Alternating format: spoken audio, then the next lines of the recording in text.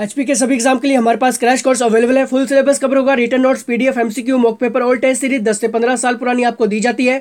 Daily online test होते हैं topic wise हफ़्ते भर में जो पढ़ा होता है, उसके बाद आपका वीकली टेस्ट होता है सेल्फ टेस्ट होते हैं मंथली टेस्ट होते हैं। एचपीजी के Indian polity geography current affairs GK English math के वीडियो लेक्चर सब कुछ कवर होता है। ज़्यादा जानकारी के लिए हमसे कॉन्टैक्ट करें, पूछे हमसे क्रैश कोर्स में और क्या क्या रहेगा और कैसे ज्वाइन करना है। आज के लेक्चर में मॉडर्न हिस्ट्री के वो क्वेश्चन डिस्कस करेंगे, जो काफ़ी ज़्यादा हाईलाइटेड बन रहे हैं। सभी एग्ज़ाम में चेक करें खुद को, कितने आपको आते हैं। मॉक टेस्ट के रूप में लगाइए। फोकस करना भी लेक्चर के ऊपर। नमस्कार दोस्तों, मेरा नाम है वियान और आप देख रहे हैं एचपीजी के यूट्यूब चैनल चलिए शुरू करते हैं। तो यहाँ पे पहला क्वेश्चन है which British governor general is known as the maker of modern India यानी कि किसे ब्रिटिश गवर्नर जनरल को आधुनिक भारत का निर्माता कहा जाता है? क्वेश्चन आपके सामने है ऑप्शन आपके सामने है।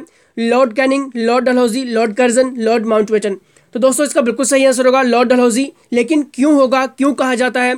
क्योंकि पुराने भारत से आधुनिक भारत के निर्माण की जो नींव थी, गवर्नर जनरल लॉर्ड डलहौजी ने ही रखी थी। उनका कार्यकाल भी आपको क्लियर होना चाहिए। 1848 से लेकर 1856 तक इनका कार्यकाल था, ये आपको क्लियर होना चाहिए।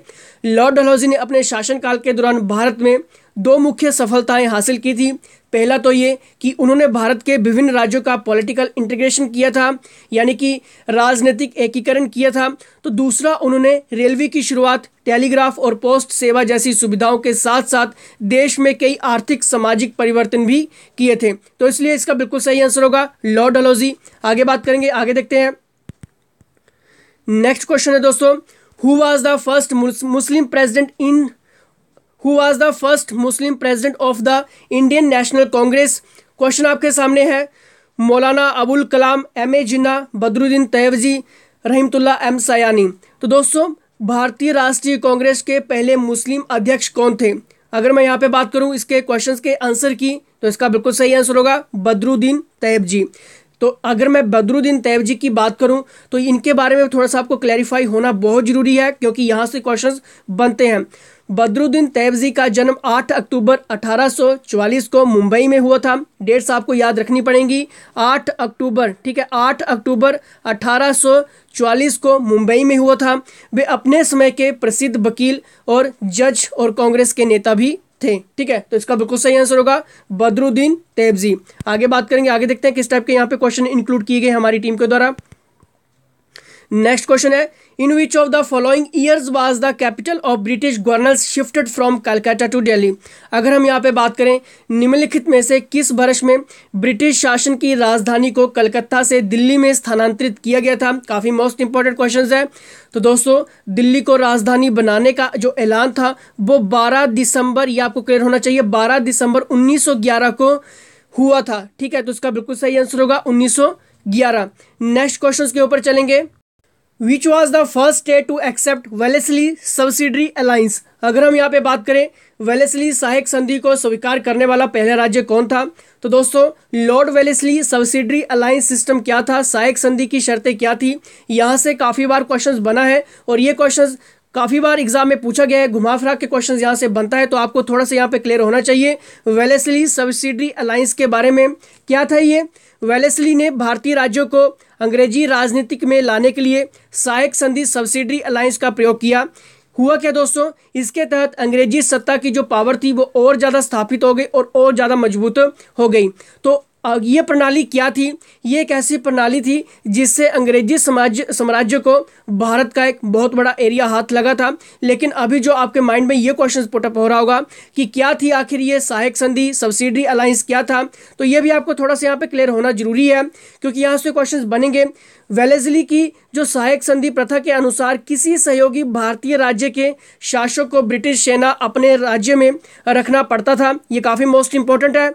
इस प्रथा के अनुसार भारतीय शासक को यह भी मानना पड़ता था कि वह अपने दरबार में एक ब्रिटिश रेजिडेंट रखेगा। इसके साथ ही यह भी प्रावधान था कि अंग्रेज़ों की परमिशन के बिना किसी और यूरोपियन को भारतीय शासक अपनी सेवा में नहीं रख सकते हैं। काफ़ी मोस्ट इंपॉर्टेंट क्वेश्चन है ये सभी के सभी। और आपके एग्ज़ाम में बनते हैं।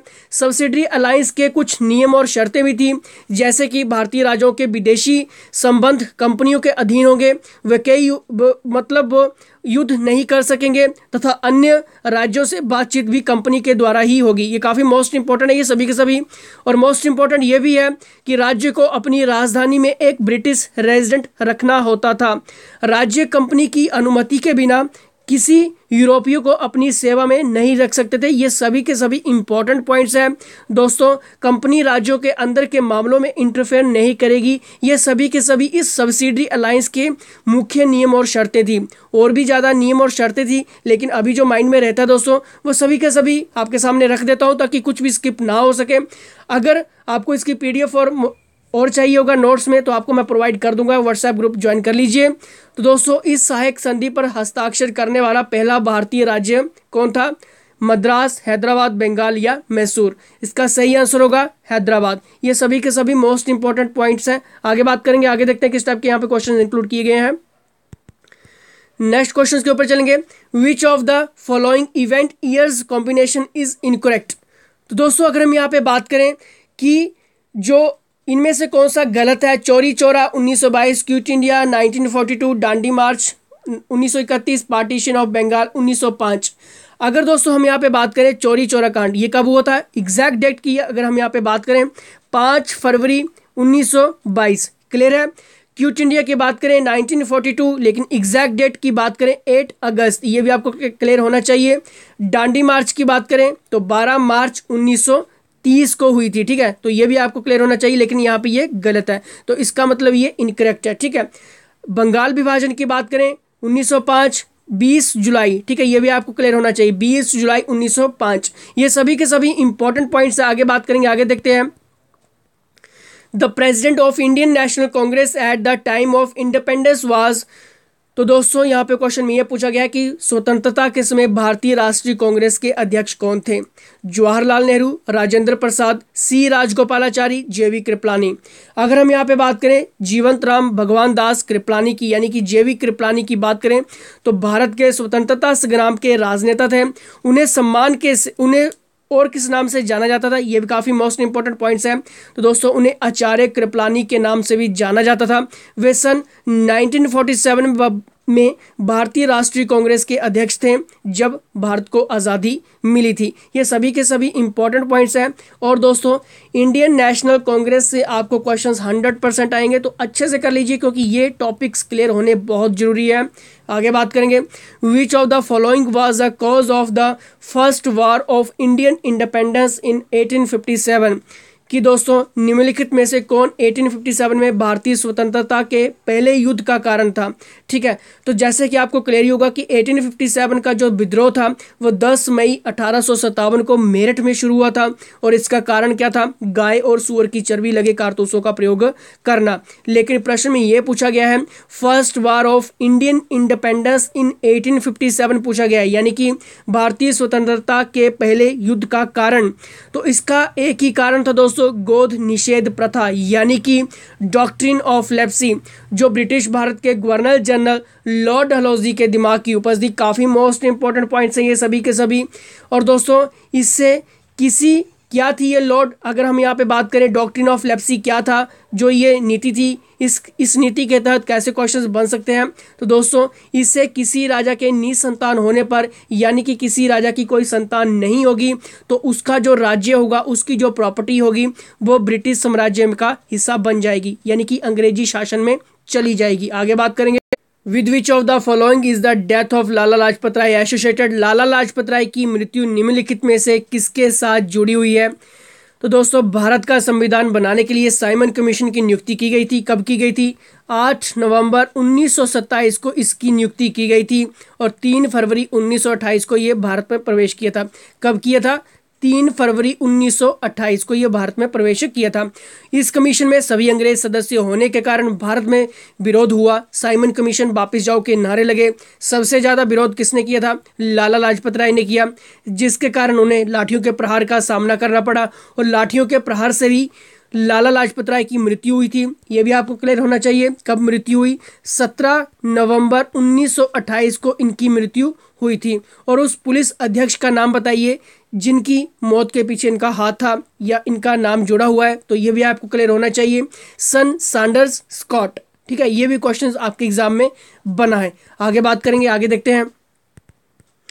At which of the following session of I N C was the national song first sung यानी कि यहाँ पे बात करें निम्नलिखित में से, किसमें आईएनसी यानी कि इंडियन नेशनल कांग्रेस के सेशन में नेशनल सॉन्ग पहली बार गाया गया था? तो दोस्तों, यहाँ से क्वेश्चन बन सकता है आपके एग्ज़ाम में। और ये क्वेश्चन अभी एग्ज़ाम में पूछा भी गया है।